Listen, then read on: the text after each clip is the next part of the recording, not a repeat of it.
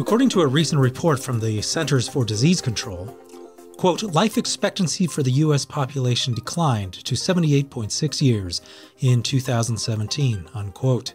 This was largely due to obesity and drug addiction. The American life expectancy trend does not reflect global trends, however.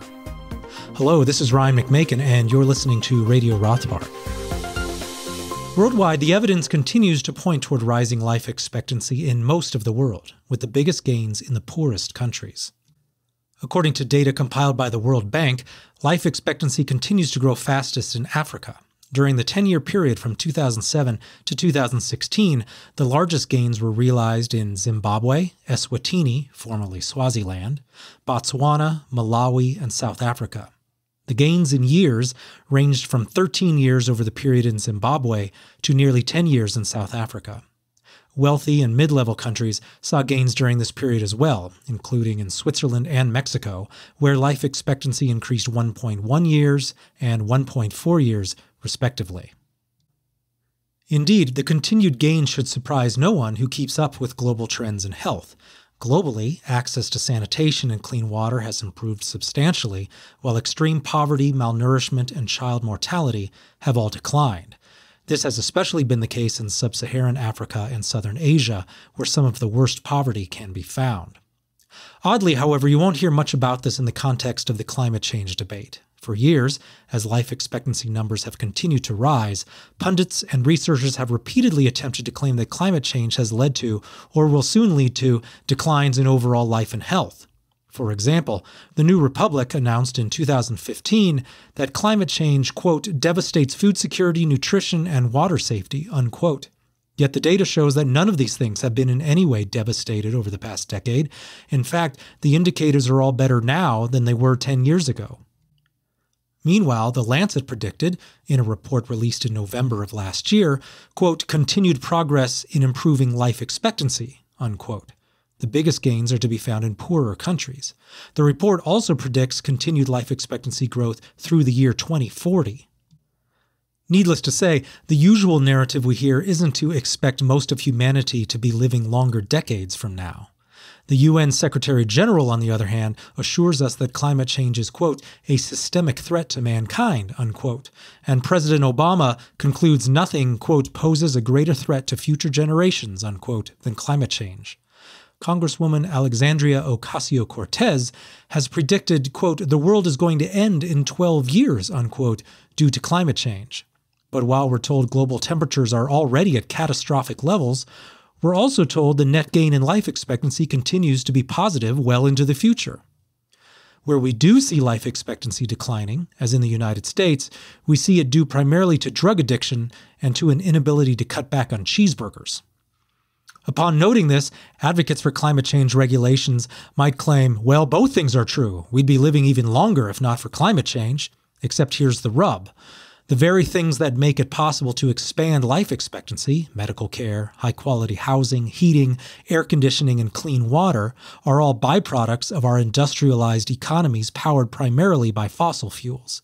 Tearing down the system in the name of preventing climate change would be devastating to life and health worldwide.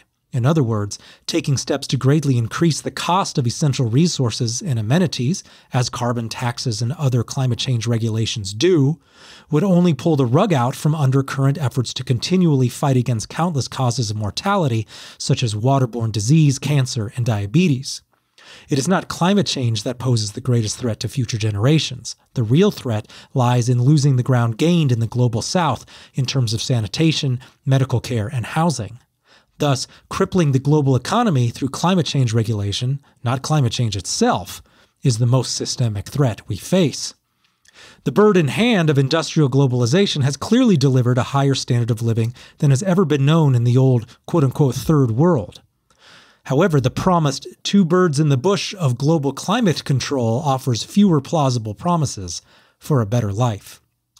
Realizing the need to up the ante, researchers continue trying to connect a myriad of health problems directly to climate change in order to justify more regulatory intervention. The New Republic continues, quote, it, a 2012 report on climate change, linked 400,000 deaths worldwide to climate change each year, projecting deaths to increase to over 600,000 per year by 2030, unquote. But how do they arrive at these numbers? They're achieved by claiming a variety of diseases are indirectly caused by climate change.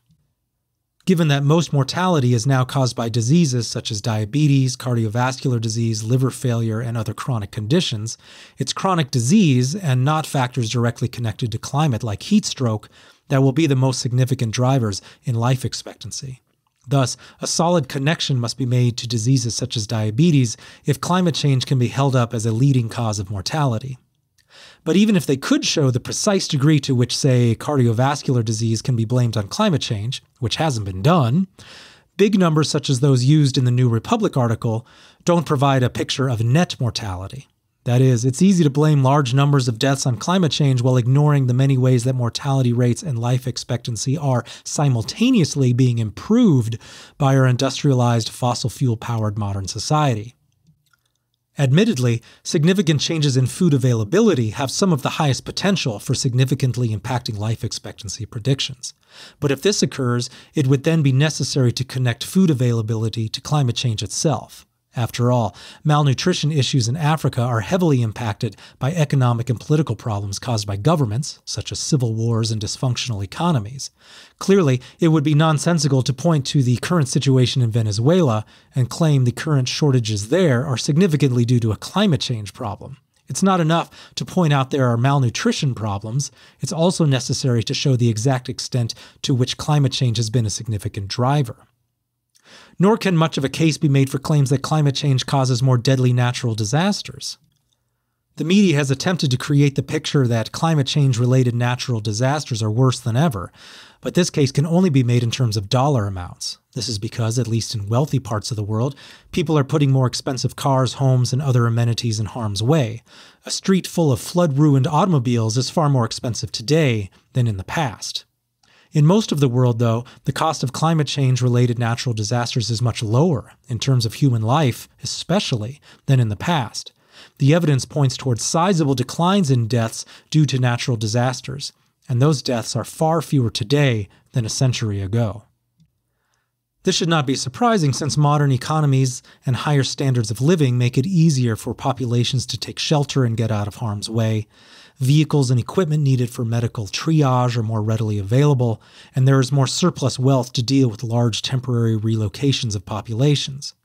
The Lancet itself report also notes that natural disaster related deaths are unlikely to be relevant to life expectancy predictions. Quote, predicted impacts in other studies on extreme weather related deaths and heatwave deaths are not large enough to have much impact on global life expectancy. Unquote.